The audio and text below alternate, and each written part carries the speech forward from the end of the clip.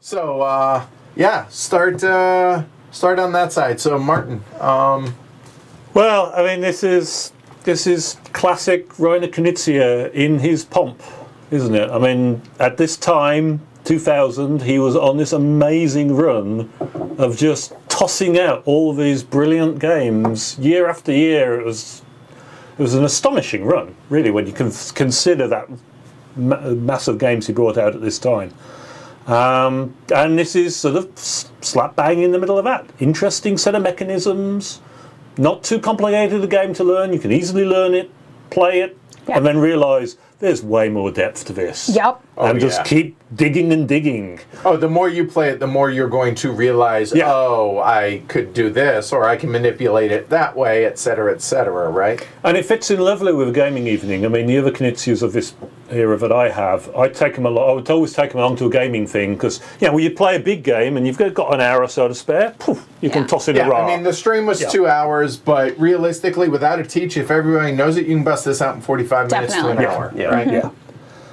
Um, it is is a really sweet game. The only reason I probably wouldn't get it is because it doesn't play with two, and I, I like games that play with two.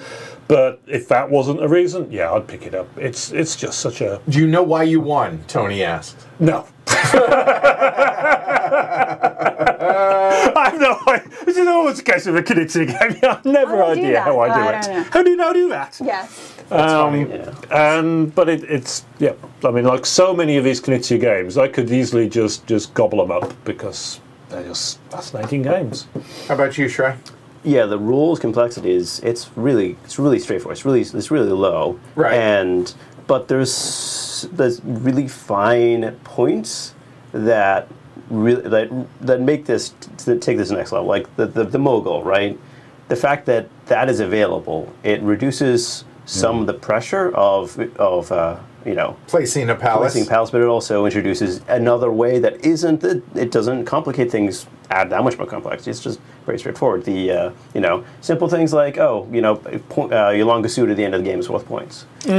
If they didn't do if we didn't have something that direct, people would be playing a ton of car like the Right, it'd be very deterministic, but also right, exactly. Last round or two, you'd just be loading up. Yeah, right? I mean, I feel I fell into the trap. I think of trying to get too many points at the end of the game and not not using my cards that I, sh- I should have used my me too. Yeah. yeah, I, yeah. Yeah, and uh, it, the, the the I have not figured out how to do the the route placement. I I clearly I, I got I was getting I got a few points over here, but I couldn't get what I needed in the right uh, order, turn order. Like you have to think about when you're when you're first, and those rounds that you're first, you you have the opportunity to go out fir- go out first, and I did not pull that off correctly.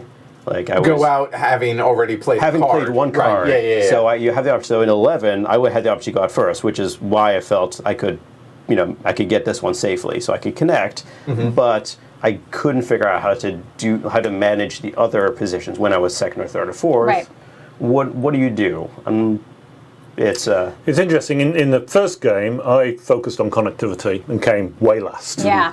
This time, I just completely ignored connectivity.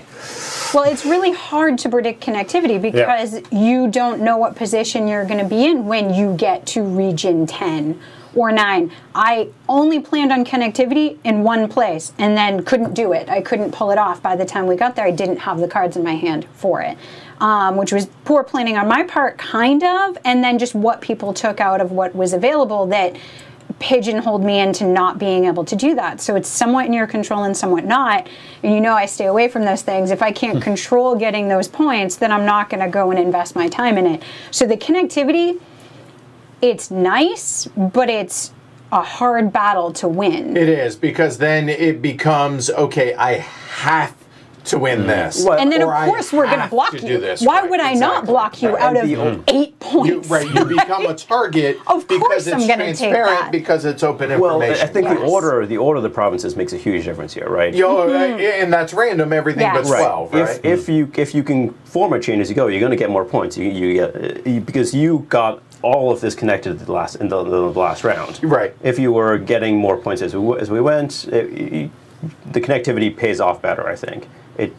uh, the so maybe that's an evaluation. Right, actually because have to it, do it- right upfront. because I'm not getting three points, then five points, then six points. But we're I'm all gonna one, see one, that. two, two, eight. Yes. Right. So yeah. we're all gonna see that. so that maybe too. this should have been a game where um, we all went for we, we spent more time getting elephants and province tiles, and Well, and you guys. I was hold on. I was going to bring that up. If you look, I have one province. Yeah. Look at where I finished. Yeah. Shrey has zero, Zero. provinces. Look where he finished. And then the two that were competing actually were competitive. Whereas, so I think there's some merit to okay provinces, and then what else can you do on top of that, right? That's a good point, but you're, there is one other thing that Martin and I had in common, and that is multiple rounds with the plus two card.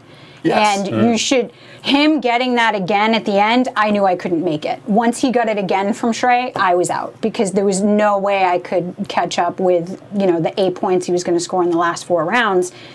But, and what did we end up at, right? So I knew that at least I was close and then I wasn't. Like I was like, nope, that's done. That and I didn't have yellow. really nice. So that plus two card's important. And I think once you get more used to playing the game in your game group, people know you don't let the same person have plus two twice. Like you keep a, a yellow kind of on side and make sure they're not being able to delve into that readily. Um, because Shrey got it once, but we traded it and he had it twice. And so that those bonus cards are huge because you don't lose them until someone else steals them. So it's also about getting the bonus cards as well and using those properly. Oh yeah, I feel like there's a lot of things that you're you're trying to pull on, right? There's the mm-hmm. connectivity, there's the provinces, there's the bonus cards. Yeah. I mean, a- and, not to mention the placement and where that mogul, the grand mogul is great because Yes. it gives you that placement, but it doesn't give you the bonus tiles. Yes. Also, so it's yeah, there, there, there's a lot of hidden levels. I feel like in this game that the more you play it, the more you're going to see, and the more strategy involved in it. Well, that's what I really like about it. The development in this seems really, really good, especially in a Knizia game, because you're seeing like how things overlap and play on each other. Getting those bonus cards, me being able to get these for points at the end, which I wasn't expecting. I wasn't expecting anything in my hand, but lining that up that I always had one of something. So at least if I got that second one, something was coming into my hand. Not having these was hard, but yeah, so there's a lot of interplay between the things you're going to do, whether you're picking up those bonus tiles that maybe aren't in the best places. Because I noticed these cities, a lot of them are off to the side. Maybe not great for connectivity, but now they're helping you with that scoring, which really helped Martin. Boy, um, it! Yeah. When it did with when it tied in with his provinces, so that boost would have been great for me too. But at that point, I was going for connectivity. So there's always something to kind of latch onto, depending on what other players are doing, and nobody can do everything. So you can't, you know, the, you can't do all the things. If you look at the number of palaces that Martin has out here, he didn't go for connectivity. He didn't go for those placements, but he made sure he had his bonus cards or lucked into his bonus cards, whichever one it was, when he needed them, and then had the provinces to score really high as they came out that mm-hmm. overlapped. So, and then even passing is huge because you get mm. three cards. And if you're grabbing the pick of the litter out there and then one off the top, that's great. And as Shrey pointed out, you're picking from that pile first. So now you have even more Information information about your draw. hand Yeah. and what you want to grab in. Yep. Um, and that's always a tough decision. What am I taking? Do I go for all orange? No, wait, I need this other one too. I should get some purple. And it's Oh, not no. just the color, but it's also the symbols on it, right? Like I really need that Grand Mogul for whatever planning on Right. Do I want the future. princess Right. back? I need to get those, but they're in two different colors, so that doesn't help me. Right. Yeah. So it's it's very it's tough decision making that you don't realize. And I hadn't played through completely. We played two player, and I played around. So that all came to me in the first round. I was like, I don't. What? Oh. That's crazy. Anything else?